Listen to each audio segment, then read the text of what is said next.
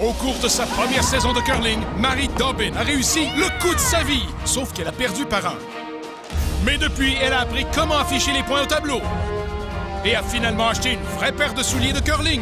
Ce printemps, en une journée, elle a amassé des fonds pour une œuvre caritative et rencontré son idole du curling.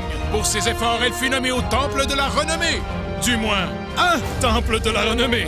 Oui, Marie dans Dobbin a connu toute une saison. Et tout a débuté par un clic.